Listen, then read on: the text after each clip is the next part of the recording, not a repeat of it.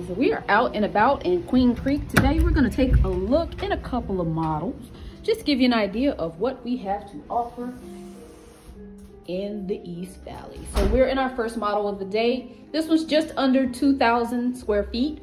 Um, it can be converted to a three or four bedroom depending on your taste. As you can see it's a single level home.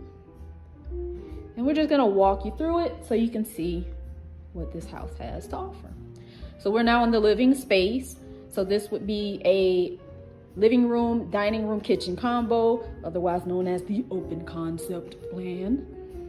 We're gonna swing you back around to the front door so you can see, kind of get your bearings. That's the front door there. And then you come back and it goes right into the living room and the kitchen and such. So just around the bend from the front door is going to be one of your bedrooms. So this is kind of um, an in-law suite type situation, as you can see, and I'll swing back around. And I see why they did it, you know, for the aesthetics, but here you've got this door. This one has like a window in it. I'm sure you wouldn't put one in it because there's bed here.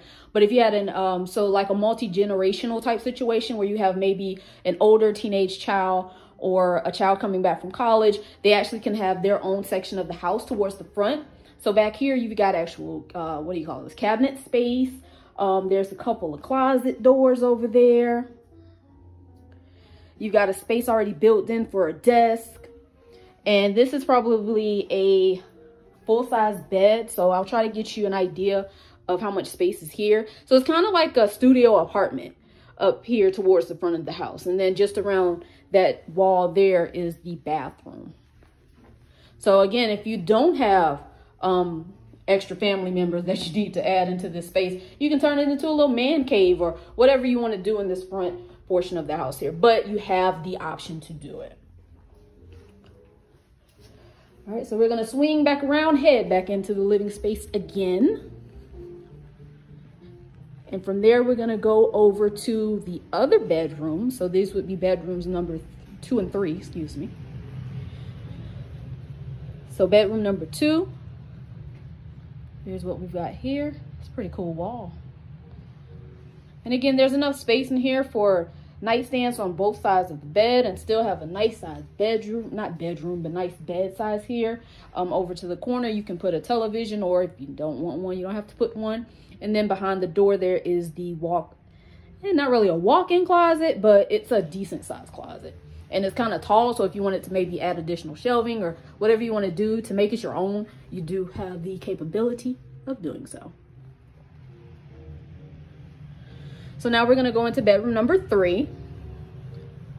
So this one is about the same size as the one we just left. Same size closet. So you're not losing anything. You don't have to have the children fighting over who gets the bigger room because you're both going to get the same amount of space, space in both rooms.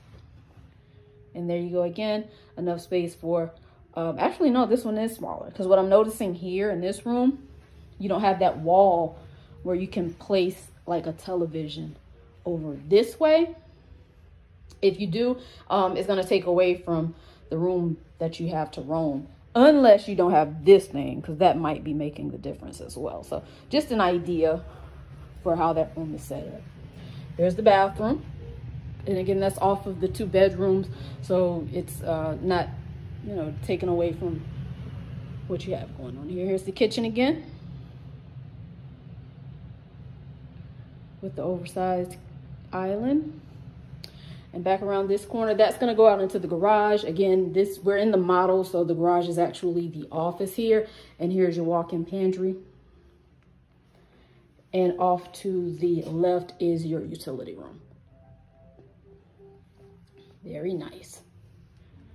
All right, so we're gonna head back now into the master or the primary, excuse me, it's the primary now.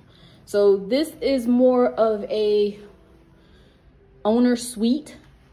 You're gonna come in through the door. Here is your bathroom. Got the oversized shower here and your closet is actually in through the bathroom. For 1,900 square feet, it's a pretty nice size closet actually. And then out here, you're gonna have double sinks. And again, there's a, how that shower looks there. Very nice shower. There's the floors. And you're gonna come back out and then swing into the primary bedroom. Love that chandelier. So here's the primary bedroom here. So from your primary, you do have outside access to your back porch, lanai. I don't know what they call it in Arizona. Um, patio, patio, there you go. They call it a patio. So let's swing out and take a look at the patio area. So this home was built with an outdoor kitchen. Got the extended patio so you can enjoy yourselves in the summertime or wintertime. And as you can see, the lot size is actually a pretty nice size lot, not too much. Um, enough to where if you did need to add a pool or something, you still have enough space to enjoy the rest of your yard. There you go. And then there's the outdoor kitchen. All right, so these homes are priced in the upper 300s, lower 400s. So if you're in that market and you're looking for a home now, let me know. We'll get you out here so that you can come and see these homes yourself. Give me a call, 623-207-7146. I'll talk to you guys later.